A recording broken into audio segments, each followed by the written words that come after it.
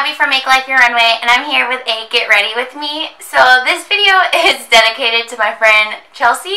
I just bought her some of my favorite makeup products for her birthday, and she's someone that doesn't wear a lot of makeup or makeup very often, and so she's like, girls, you need to like show me how to do this or apply it.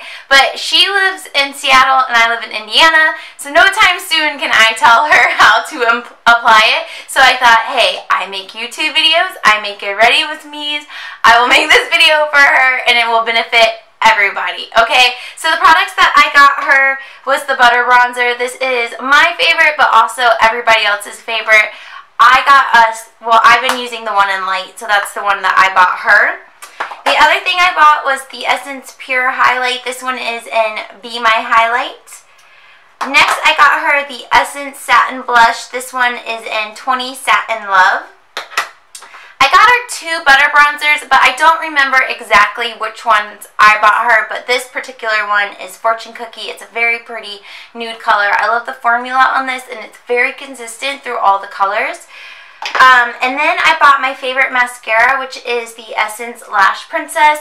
This coral colored one is way better than the blue one in my opinion. This is my all-time favorite mascara. It did come, um, she got for free the I Love Extreme mascara. I have not used this one myself, but um, it says crazy volume. Anyways, the mascara I'll use in this video is the Essence Lash Princess in the blue. Just because this one's already open, I have not opened this particular bottle of mascara. I will, of course, use other products because this will be a full face of makeup. So you can kind of pick and choose. The way that I'm going to apply this makeup is what I have found has worked for me. So this will be a talk through. I'm going to cake it on the way that works for me. Go ahead and take whatever layers of it you want. Do it the same. Change it up. Uh, just whatever works. so if you want to see how to go from this to what my after looks like, which you should be looking at right now, then just keep watching. Here we go. Alright, it is very hot in my house. I was just cleaning and so I just feel like kind of, you know, summertime's coming. So I'm going to go ahead and put my cat ears on to get my hair out of my face. I am drinking LaCroix. Do you guys drink this stuff? My favorite is the orange flavored, but it's always hard to find. Mmm, love it. So Everything in this video will be affordable except for my primer and my setting spray. I just don't at the moment have an affordable version. So we're going in with the Laura Mercier. This is the Hydrating Foundation Primer. I go ahead and put it on my fingers. It is um, like a lotiony type product and just work it into all of my skin. It feels like lotion going on. For foundation, I'm going in with the Neutrogena Hydro Boost Hydrating Tint Foundation. This one is in 40 Nude. I really, really like this application. It has a wand, and what I find is I have to kind of put a layer on my face and then go over it again after I blend it out. I will be blending it out with the Beauty Blender. So I just put a lot all over. You'll see you have to kind of go in and out of the product a few times to completely cover your face. I have very dry skin. Um, my friend Chelsey has oily skin, so this product probably would not work the best for her. She probably wants to get something that is a little bit more mattifying. Um, I know like the L'Oreal one with the black in the black and clear too with the red white writing, the infallible. That one's very popular. She doesn't wear foundation ever, really. So you can go ahead and skip foundation if it's not your thing and just jump right into concealer. But I do like to wear foundation every day just because I find the products sit really nicely on top. And that's how I can get my products to stay for like 15 hours. get on my lip. And then I just add it onto my cheek area and then press it into my skin. Next for concealer, I'm going in, this is a NYX product. It's the Dark Circle Corrector in Light. And I'm going to put it underneath my eyes as well as on my eyeshadow so that it is an eyeshadow base. And I like to get kind of in the corners right here and blend it out. Taking it all the way pretty much around the eye. Once I have that just sitting on my face from the brush, I'm going to take my Beauty Blender and press it all the way into my skin. Make sure to pressing it in on the eyelid as well. I always look up to try to tap out any creases. Let me look in my mirror. Alright, so that is the foundation and concealer and of course the primer. My face is feeling so tacky and I hate that feeling. So I always set it Recently, I've been doing a loose powder underneath my eyes and kind of in my T-zone, and then a pressed powder for the rest of my face. I find a loose powder all over my dry skin, it kind of just feels tight, sucks the moisture out. So this is the number 7 uh, loose powder in translucent. And I do really enjoy this. This is an affordable brand that you can get at um, Ulta and Target. So I'm going to take a unicorn brush! This is the Tarte, one of the Tarte unicorn brushes that came, um, well, you bought it. I bought it in a set. But I'm going to take this, tap it off, woo, and then press it underneath my eye and also on top of my eye.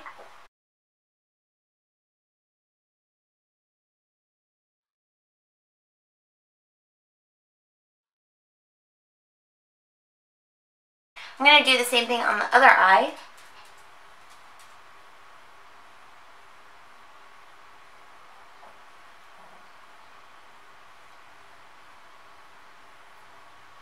I've been using this powder for a couple weeks and I do really enjoy it. Um, I was using the Laura Mercier, Mercier um, loose translucent powder before this, so definitely not the same product, which, I mean, I wouldn't expect them to be the same, but it is so different going from such a finely milled powder to one that is um, not so finely milled. It's nice. It's really nice, but it's just not comparable.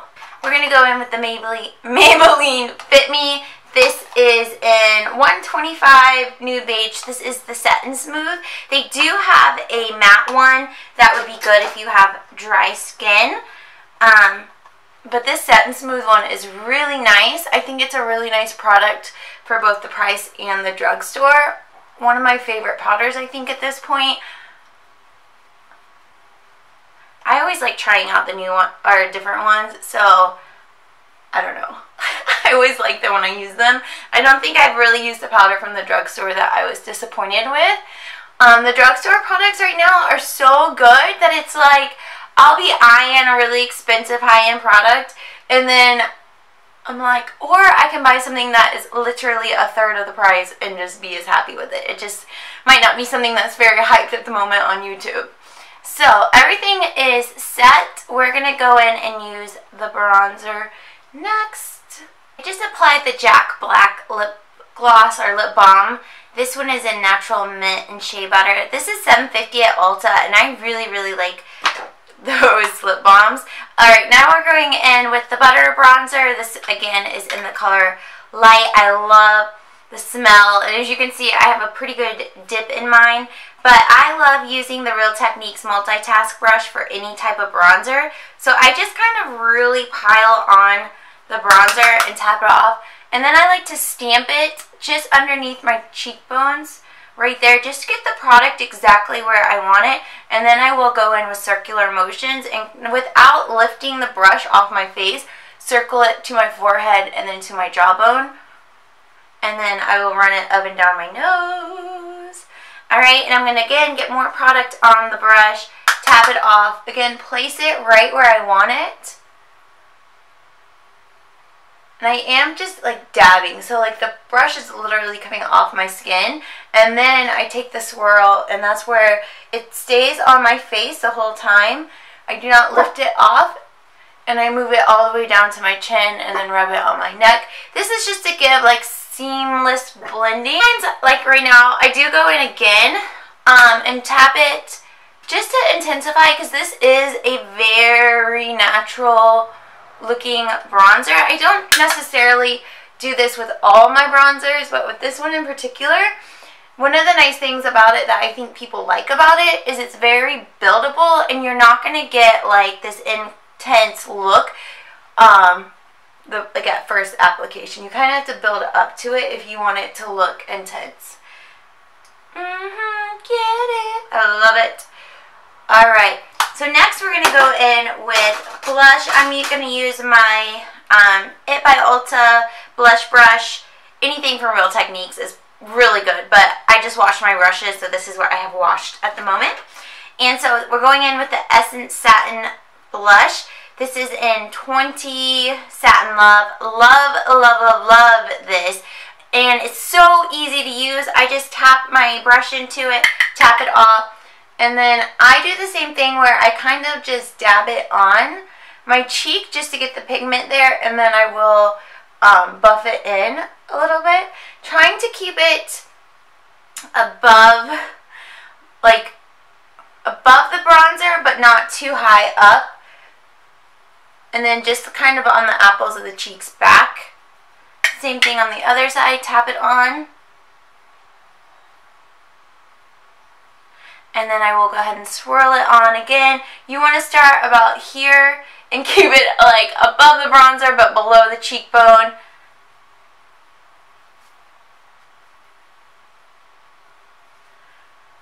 Yay! Okay, and then we're going to go in with the highlight. I thought I had bought her this NYX Duochrome and Lavender Steel. I must have put it in the cart and taken it out, but this is just a really, really fun highlight that if you're looking to explore with highlights, this is so cool. This particular one in the range uh, is more wearable, but um, since that's not what I bought her, I bought her the Essence Pure Nude. This one again is 10 Be My Highlight.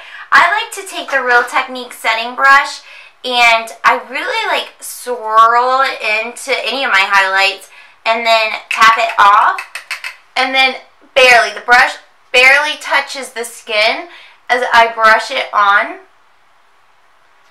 I take it on the tops of my cheek and then I'll do like a C motion where it comes above my eyebrows and I'll even run it a little bit on the tops of my eyebrows. Again, barely, barely, barely touching the skin the full time and you can see it building. Oh, it's so gorgeous. Taking it up to make that C and then in the, the brow. And I think the nice thing about all these products, the bronzer, blush, and this particular highlight, is they are so subtle, but they're so buildable. Just like I was saying, the butter bronzer, like just go back in and build it up a little bit more. Take it back in the same formation. Oh my god. You could like build this one. You could just sit here and do this for like 10 minutes and it's only going to get better and better. and then I do take it on my nose and then my cupid's bow. And this one I have been known to take a stippling brush and just like all over my face. Absolutely love it. For simplicity, for eyeshadow, I'm going to use what we use on our face. Um, so I'm going to go back into the Butter Bronzer. And I'm also going to grab a nice big crease brush. This one again is the uh, one by It by Ulta. Like every, all the writing has worn off. I've used it and had it for so long. But again, anything from Real Techniques would work. I'm going to go ahead and zoom you in for the eyes. There we go. So I'm just going to swirl it in. Getting a lot of product on the brush, but then also tapping it out. I'm going to run this both on the lid, doing circular motions, and in the crease, just to add some definition. We're not going to get too crazy here, um, circular motions and just like the highlight the brush is barely touching my eyelid. And we're going to keep doing that a couple of times just to build up that pigment. And we're going to do the same thing on the other eye. We're going to try to do maybe two layers of product and then I'm also going to take the blush and use this I'm going to wipe my brush off on paper towel. But we're going to go in with this blush and we're going to add it into the crease um, just to add a little more depth. And I'll do this a lot, like especially if I'm painting project products for a project. I will use whatever product, if it's like a face product, in my eyes as well as my face, just to multi-use it because, I mean, ultimately the face powders, they can be used anywhere. Same with eyeshadows. I've used eyeshadows as highlights. I mean, you don't have to use things as they're marketed, basically. Alright, and then I'm going to take the Essence Pure Nude with my finger, and we're going to just tap it on the lid.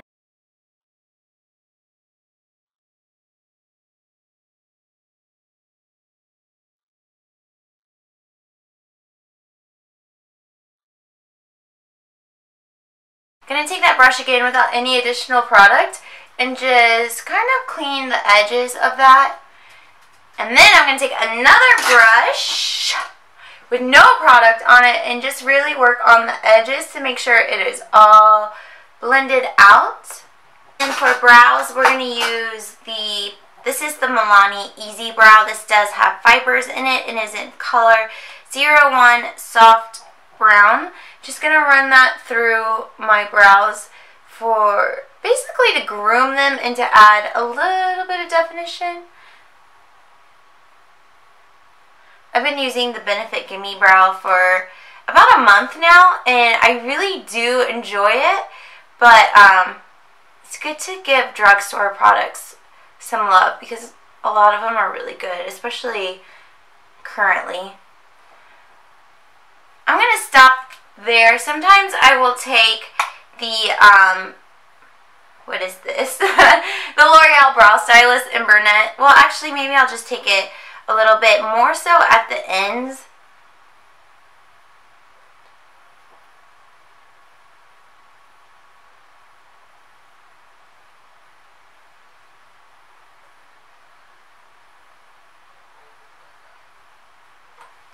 And then it's really important to go through and brush it out. I did, okay, I did two things off camera. The first thing I did was I sprayed my Urban Decay All Nighter spray all over my face. I'm a big believer in good primers and good sprays that that's like the trick. Like anything in between that can be whatever as long as you have a good primer and a good setting spray.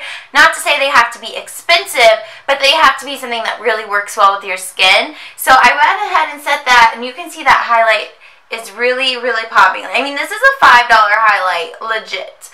And then I went ahead and put on the Lash Princess. Again, this is the one in the blue tube. I put two coats on. I don't really like this one that much, mostly because it transfers to my top lid by the end of the day. This one with the coral lid does not do that to me. So, um, I don't know, but it does look beautiful on the lashes. Like, it separates them very nicely. Um, the transferring is just too much for me. But um, it might not do that to you. But anyways, the very final product is a butter gloss. It doesn't matter which one you use. It's just a color that is to your preference. The formula is the same across the board. I've used so many of these. Um, but this particular one, like I said in the beginning, is Fortune Cookie. It's a very pretty nude color. I'm going to go ahead and apply it. Oh, I got it on my teeth to the lips. Alright everyone, that is the final look. Um, hopefully it was pretty easy to follow. Mostly affordable. Um, Chelsey, I hope you enjoyed this. Everyone else, I hope you enjoyed it as well. If you haven't tried any of the products that I mentioned in this video, 100% recommend them. I mean this highlight, $5. Five, five, five dollars. Come on now. I'll zoom you into the eyes. Super simple. Um, I mean, you watched me do it. Ain't nothing. Ain't nothing.